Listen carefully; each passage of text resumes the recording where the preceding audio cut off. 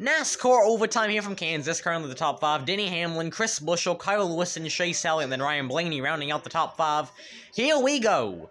NASCAR overtime here from Kansas.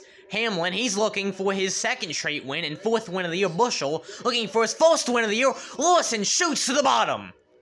Elliott gonna push Buescher out in front. Side by side for the lead. And Buescher gonna be able to clear.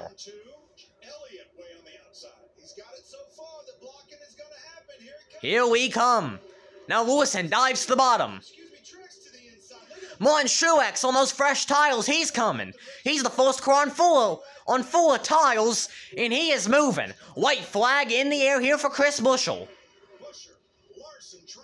Can Larson find a way around him? He's gonna go to the top side. That's where he's best at. Oh, Hamlin got a little loose. Elliott now shoots the bottom of Truex. Here we come. Can Larson get Buescher? In Buescher's oh, contact between the two.